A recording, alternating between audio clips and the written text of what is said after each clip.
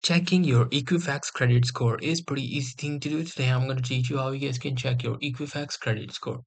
The process is pretty simple. For that, you just have to be at Google and there you have to search for check my credit score and then simply search for Equifax. Now after searching for that, you have to go to this link which should say check your free credit score Equifax. Now as you can see, you just have to have the subscription, but you can claim a free trial as well. So if you click on that start a free trial, it will want you to, you know, fill out the information, including your name, last name, date of birth, your address as well. And there you go, you will have an, a, new account and then you have to add a payment method, which should be, you know, which should give you some sort of free trial as well. And then you have to verify your identity.